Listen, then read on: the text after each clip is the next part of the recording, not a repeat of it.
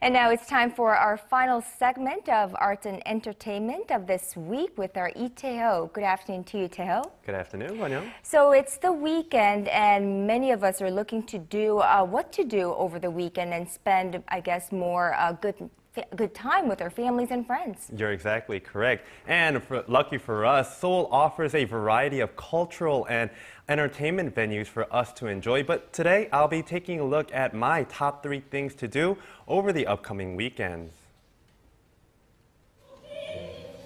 A beautiful moonlit night with a slight breeze that hangs with the scent of autumn, surrounded by nature, away from the chaos that is our daily lives, to be serenaded by the beautiful voice of Grammy Award winning soprano Sumi Jo in La Fantasia.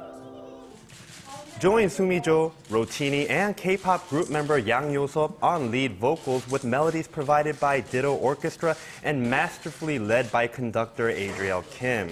Also on the viola will be Grammy-nominated violist Richard Yongjae O'Neill.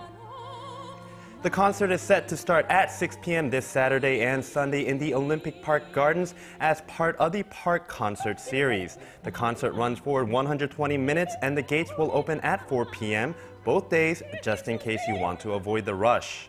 And if you haven't had the chance to purchase your tickets yet, worry not because tickets will be for sale starting at 3 p.m. at the box office.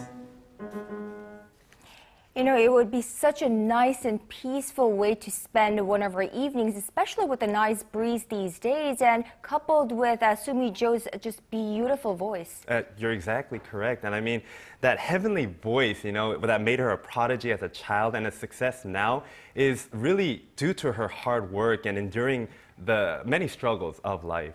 Right, and not only is she such a great a person as a professional, I mean, I had a, a chance to interview her one on one, and she's just a remarkable person, just uh, you know, in and herself, and she always remembers her Korean roots. You know, you're exactly correct. Sumi Jo is known for her stage outfits as well, and although she has the chance to wear very high-end, high-level European outfits, she always chooses outfits from Korean designers. So it's a really good way for uh, to expose Korean designers to the world. Right, and to promote them, of course.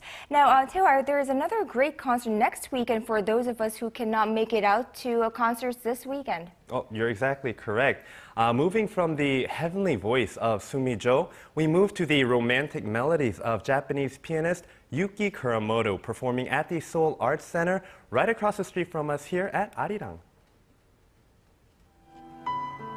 Yuki Kuramoto is a Japanese pianist with a master's degree in applied physics from Tokyo Industrial University. The man is a genius, and lucky for us, his fans, he has chosen to dedicate his genius to his passion for music instead of science. Kuramoto arrives at the Seoul Arts Center on the gentle winds of fall breeze for a special one-night concert on Saturday, September 21st. It promises to be a relaxing and healing experience during the long holiday weekend.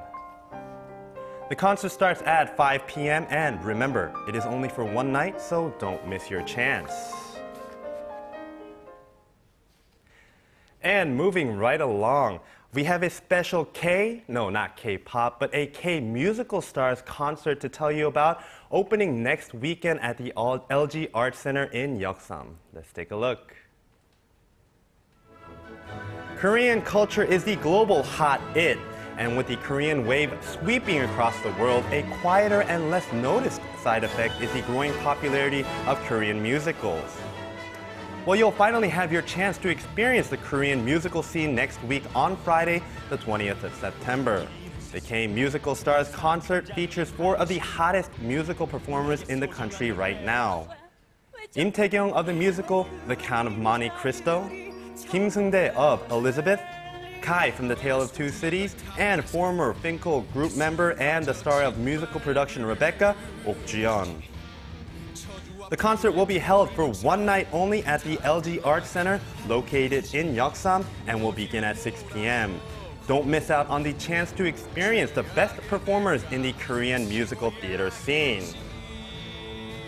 I mean, too, I've been noticing that uh, Korean musicals have been receiving more and more publicity and attention these days. You know, that's very perceptive of you. And the funny thing is that the Korean musical scene is more popular and is all the rage with tourists as opposed to locals here in Korea. And it's at the point where a lot of tour agencies are offering musical vacation packages for foreigners so they can come here to experience the amazing musical productions here. That's actually uh, really good because we have some really great uh, musical performers here in Korea, and hopefully they will get the attention that you know many other K-pop stars or uh, actors get uh, from around the globe, and we hope to see that industry prosper more. Exactly. I mean, that's the hope here with the K-pop wave effect in- around the world, right? All right, um, Taeho, thank you so much for today and uh, the, all of this week, and we'll see you on Monday. I'll be back again on Monday.